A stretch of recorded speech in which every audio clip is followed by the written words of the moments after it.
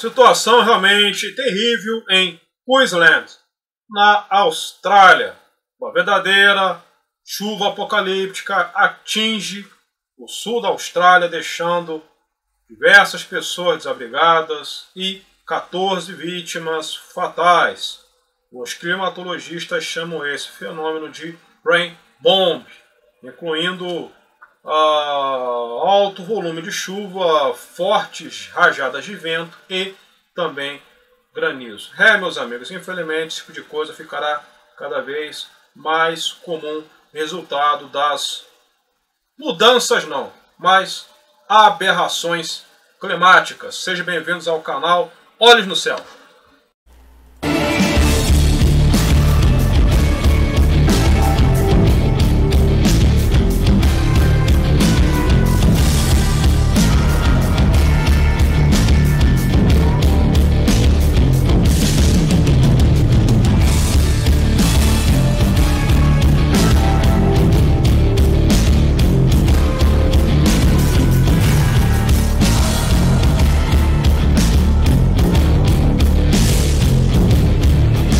Amigos, muita destruição na Austrália proveniente de uma, uma forte chuva. Vamos a diversas fotos, vídeos, vamos entender melhor o que aconteceu por lá. É, realmente são, são cenas né, impressionantes, né? não foi tão diferente do que aconteceu em Petrópolis, aqui no Brasil, no Rio de Janeiro. Também muita destruição, muitas residências foram é, destruídas, temos diversos vídeos, né? É, vemos vídeos aí aéreos né, de como ficou a situação por lá em Mismor, na Austrália, né? Observem que a água ela chegou, ela, em alguns momentos ela chegou a ultrapassar né, até mesmo casas, né? Inundar casas. É, deve ter subido aí no mínimo 5, 6 metros de altura o nível da, da, da, da água.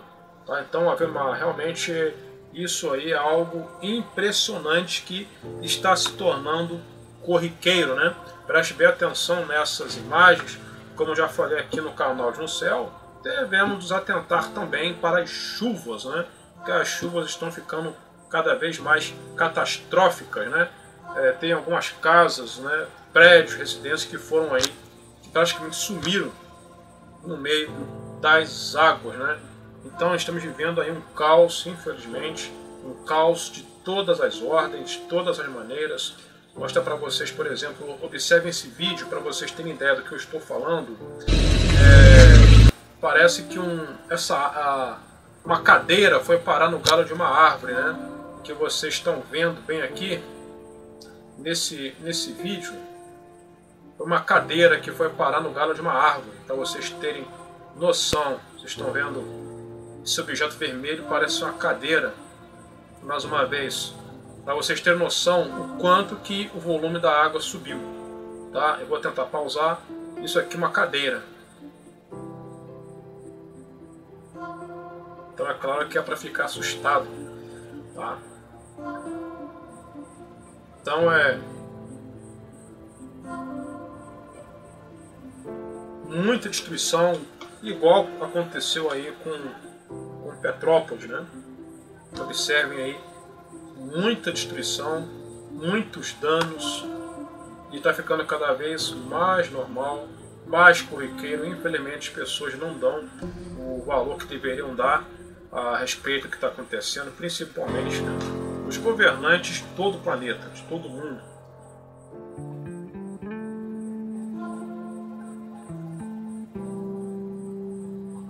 Vamos a mais um outro vídeo. Observem aí o posto de gasolina, o posto de combustível, que, nossa senhora, meu Deus, observem aí a altura em que o nível da água subiu, cara. O que, que é isso, cara? Mais uma vez, o que, que é isso?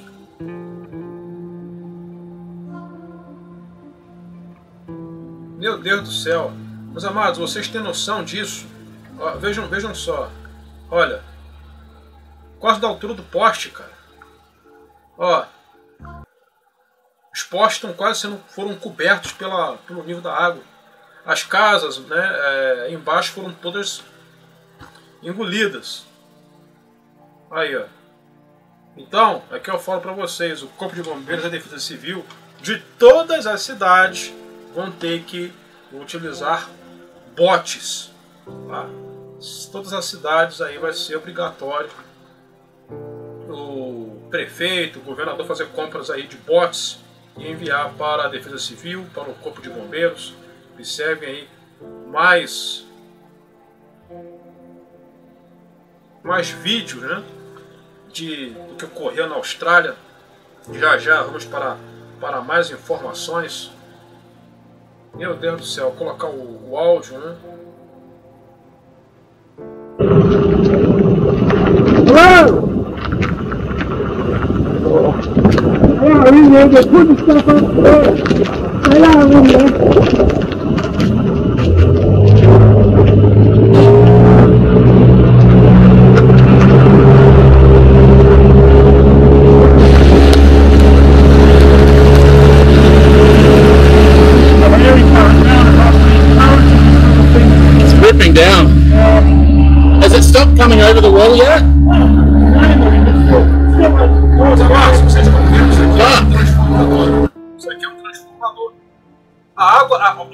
perigo, cara. O que está me chamando a atenção é que os postes. A água, a água subiu quase da altura dos postes. O que, que é isso? O que está acontecendo com a Terra?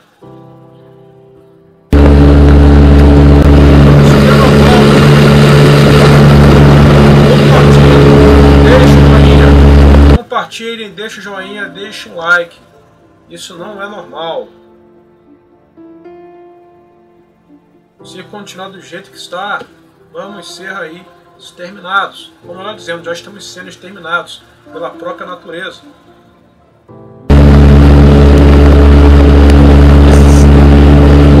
This is insane. This is the whole, the whole town.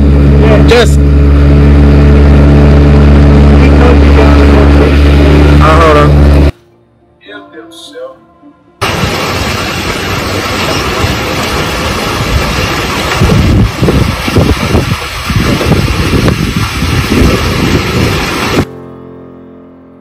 Amados, vamos para mais informações.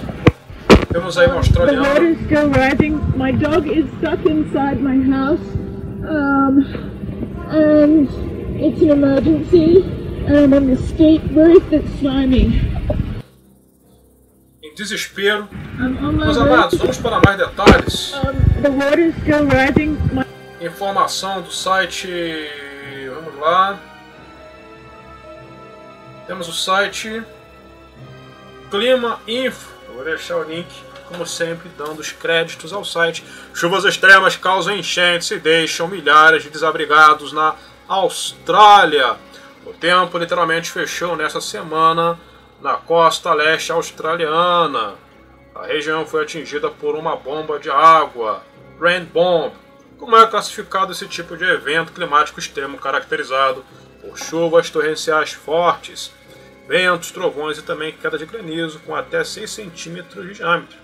As condições climáticas traiçoeiras deixaram mais de 500 mil pessoas sob alerta máximo de inundação. É, é, ontem, só em Sydney, cidade com mais de 5 milhões de habitantes e capital do estado de Nova Gales do Sul.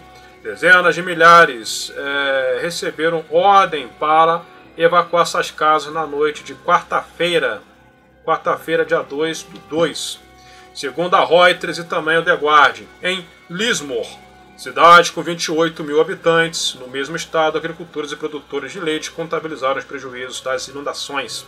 Esse foi o terceiro desastre em três anos. É aquela coisa, vai ficando cada vez pior. Então, em três anos, a cena se repete e vai continuar se repetindo enquanto o planeta continuar aquecendo.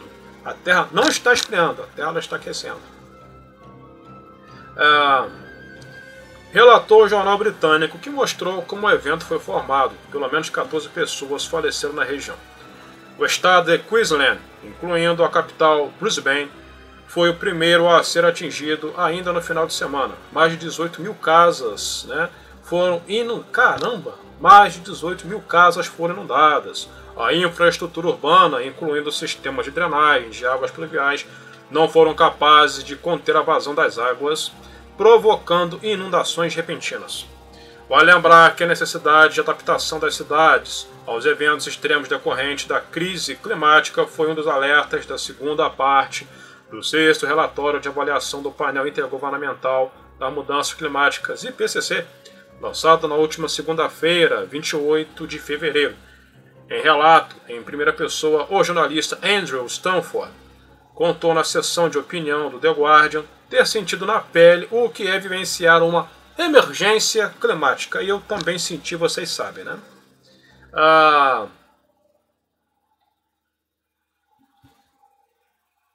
ele contou isso na sessão de opinião do The Guardian. As coisas que ficarão comigo sobre o evento climático e as inundações subsequentes que engoliram, engoliram Brisbane e também o sudeste de Queensland foram a rapidez com que isto se desenrolou, a sua imprevisibilidade caprichosa e a violência extrema, disse, né? Em Brisbane, segundo ele, foram, meu Deus do céu, Jesus Cristo, foram 739 milímetros em quatro dias, quase 75% da média anual em Mount Glorious, a noroeste de Brisbane, foram 1.637 milímetros de chuva no mesmo período. É claro que isso é um dilúvio. Estão acontecendo dilúvios locais e a situação vai piorar à medida que o oceano aquece. Em 2011, outro evento extremo semelhante havia ocorrido na região. Fenômenos ocorriam uma vez a cada século. Agora, é, se repetiram com a distância de uma década. Segundo o Financial Times, as inundações devastadoras geraram uma enxurrada de acionamentos de seguros. Lá eles têm seguros, nós não. É aí que está a diferença. A diferença está toda aí. Mas não vou entrar nessa questão. As duas principais seguradoras australianas já anunciaram que excederão o orçamento anual para riscos naturais em centenas de milhares de dólares só com este evento.